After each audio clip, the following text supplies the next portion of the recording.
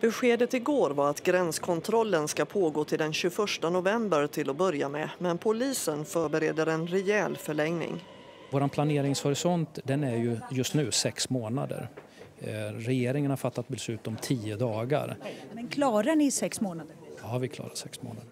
Polisen gör stickprovskontroller vid bron och urvalet ska inte bygga på utseende. Det är väldigt viktigt att de här kontrollerna inte uppfattas som på något sätt eh, kränkande eller, eller etniskt baserade.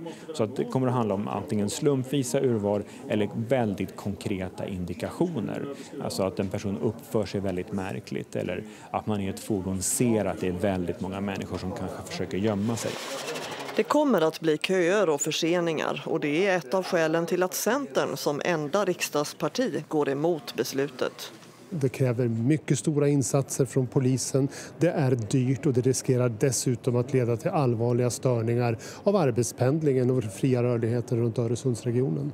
Men finansministern som idag presenterade en extra budget med 10 miljarder kronor till kommuner med högt flyktingmottagande hoppas att gränskontrollerna ska minska antalet asylsökande. Jag tror ju att fler människor kommer att välja att söka asyl i andra länder när det blir allt mer uppenbart att Sveriges mottagningssystem är oerhört belastat och vi inte längre kan garantera tak över huvudet. Hur allvarligt är läget för svensk ekonomi?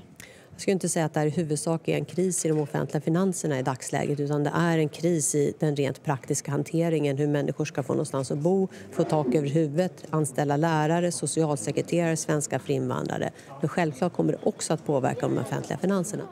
Centern vill inte minska söktrycket men föreslår nu ändå att asylsökande får ordna bostad själva med undantag för barnfamiljer, äldre och ensamkommande.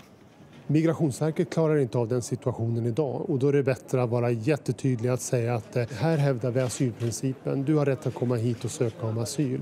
Boende i det här landet det får du ordna själv.